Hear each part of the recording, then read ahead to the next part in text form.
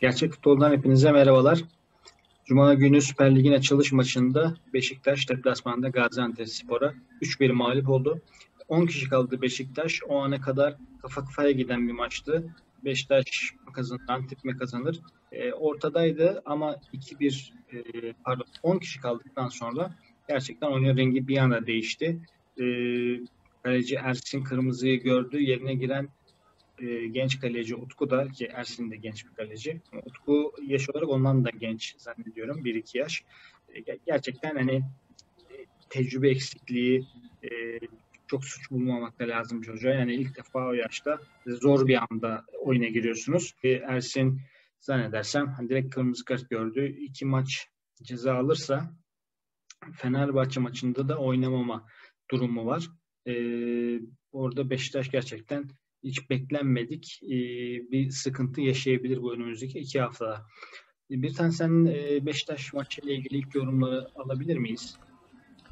Beşiktaş geçtiğimiz iki hafta çok daha iyi bir futbol oynadı. Hani hepimiz dedik acaba mı dedik şampiyonluk adaylarından biri olabilecek mi Beşiktaş bu sene için dedik.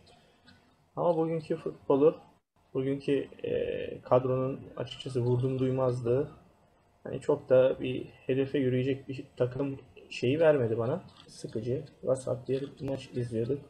Ersin'in ben öyle çok da güven vermediği noktasında değilim. Benim diyen tecrübeli kaleciler bile yapabiliyor o şeyleri. Ersin genel anlamıyla bence hani bir zaaf olarak görmüyorum açıkçası. Ben benim için daha büyük bir zafiyet özellikle e, üçüncü bölge dediğimiz bölgedeki oyuncuların e, etkinliği, etkililiği, kalitesi Şimdi Larin gol atıyor ama oyun içerisinde hiç yok. Abu Bakar hiç yok. Gezal e, çok teknik bir adam. Belli yani çok yetenekli bir adam ama yani oyun içerisinde çok kayboluyor.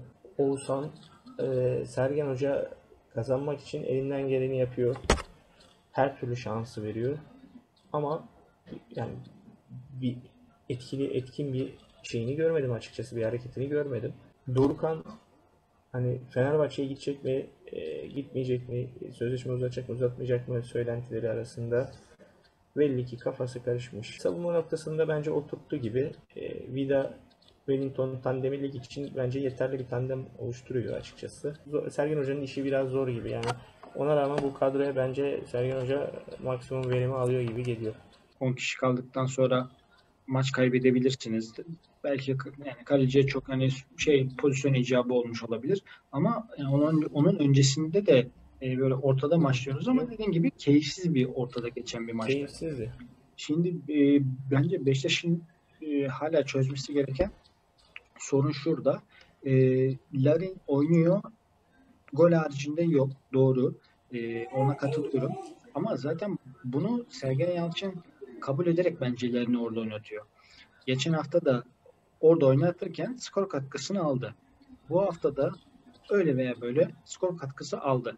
Forvet oynatmadığı sol kanat oyuncusunda.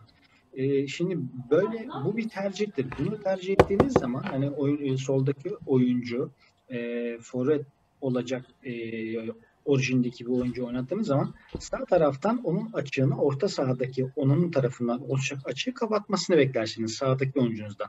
Şimdi orada Gezal oynatıyorsunuz. Evet Gezal teknik bir oyuncu. Ee, ama Larin'in Larin'den kaynaklanan o boşluğu e, kapatamıyor.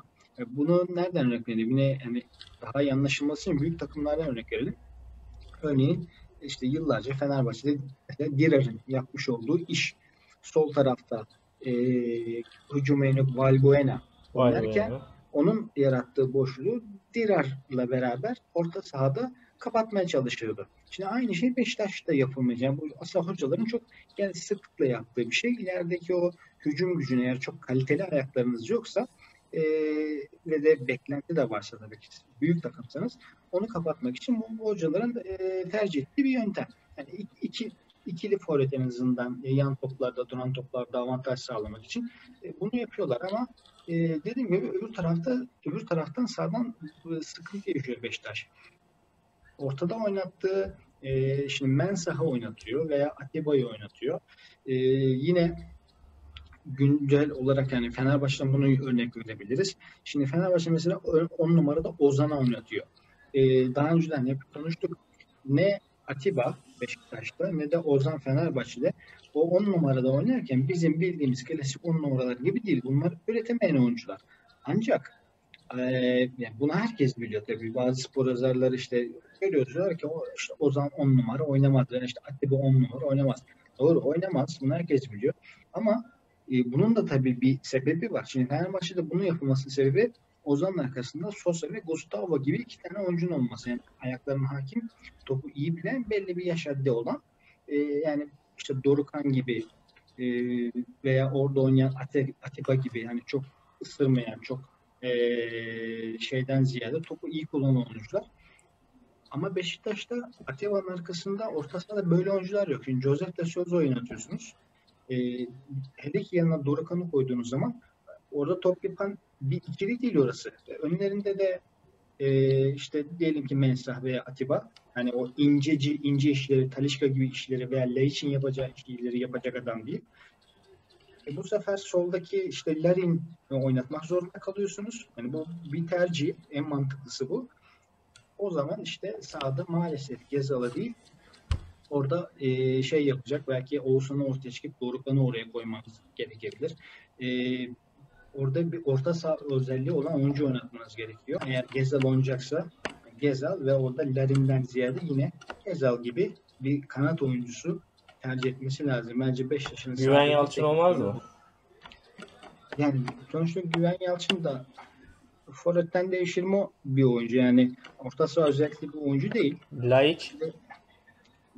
Le- sol tarafta mı? Hı. Bence hiç olmaz. Yani bu daha önce denedi çünkü denediler bunu. Şenol Hoca da ilk geldiğinde denedi. Ee, geçen sene de denediler. Oğlum yani Şen, şey, Laiç kanatlarda tamamıyla kayboluyor. Yani ne o hızı var. Zaten o direnci de. Haliller'in bence ondan daha dirençlidir. Yani bu iki haftalık süreçte Sergen Hoca ne kadar bunları değiştirir? Ee, yani şu ana kadar e, verdiği şeyle e, görüntüye göre yani biraz daha e, kalıp düzenleri var Sergen Hoca'nın. E, yani işte Fenerbahçe diyoruz ya Erol Hoca kötü giden bir şey hemen değiştirdi. Oyuncuları değiştiriyor, taktiği değiştiriyor. O Sergen Hoca'da onu pek görmüyoruz. Daha e, şablonları belli bir e, oyun tercih ediyor. Ma- Yarın güzel maçlar var. Hem liderin maçı var. E, gizli liderin de maçı var diyelim. E, ikisinden de inşallah güzel futbol e, izleriz. Yarın görüşmek üzere. Görüşürüz.